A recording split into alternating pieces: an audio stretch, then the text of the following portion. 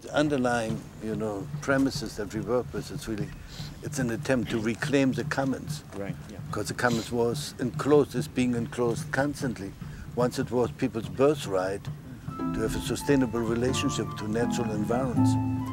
Common land in the UK is a survival from the uh, 10th, 11th centuries when the king divided up land and there was a general sense of what was called common law that related to all people having an access to a piece of ground.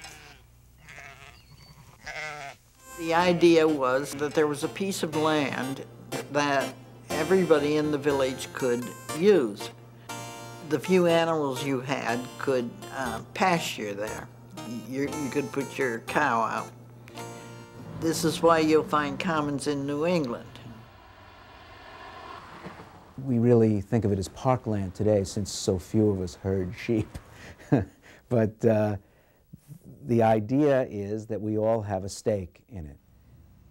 The Commons was the people's park for them to use, not just to use the way they were told. Here you may swim, here you may walk, here you may rollerblade.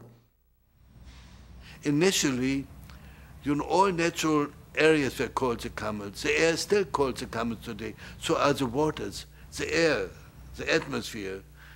And the land belonged to everybody. Over the last seven, eight hundred years, in successive stages, those common lands have been incorporated into private ownerships. There's been this successive dispossession of land.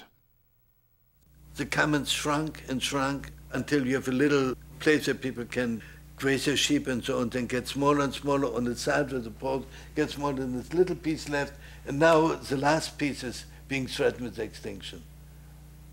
So the whole reclaiming, you know, you can work backwards too. You start from little hut, then you more and more and more.